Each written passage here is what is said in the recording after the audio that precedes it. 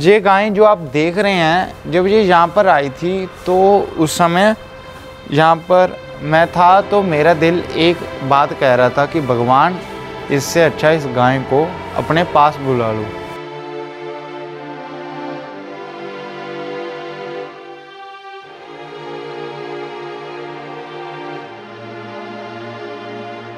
अब मेरा ये सोचने का एक ही कारण था क्योंकि इसके जो वोंड था वो इतना बड़ा था और ऊपर से उसमें मैगट जाने की कीड़े पड़ चुके थे।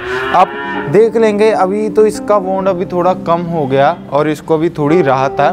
लेकिन ताजुब की बात यह है कि जो बंदे इसे यहाँ पर लेकर आए थे, उन्होंने बताया कि इसके एक्चुअली हुआ क्या था, इसके गले में लोहे की तार फंस गई थी, जिसके कारण इसका जो गला है, ऐसे पाड़ा हुआ था।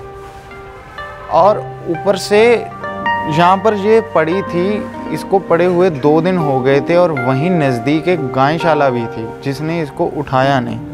अब मुझे नहीं पता उन्होंने क्यों नहीं इसे रेस्क्यू किया, लेकिन यहाँ आते ही हमने इसका ट्रीटमेंट चालू कर दिया। इस गाय के जख्म में जो कीड़े थे, वो तो अब पूरी तरह से मर चुके हैं। और ऊपर से क्या है कि जो इसका जख्म था, वो भी इन दो तीन दिनों में ही बड़ी तेज़ी से रिकवर भी हो रहा है। अब होता क्या है कि जैसा हम कई बार सोचते हैं, वैसा बिल्कुल नहीं होता। जैसा मैंने इस गाय के केस में सोच लिया था कि ये नहीं बचेगी, लेकिन ये आप देख सकते हैं, पूरी अच्छी तरह से स्वस्थ है। अब मैं आपको एक इधर बुल का हालत दिखाऊँगा। ये बुल जब यहाँ पर आया था, ये पूरा स्वस्थ था, लेकिन अब आप देख सकते हो इसकी क्या हालत है। और हमने कभी सोचा भी नहीं था कि इसकी ये हालत होगी।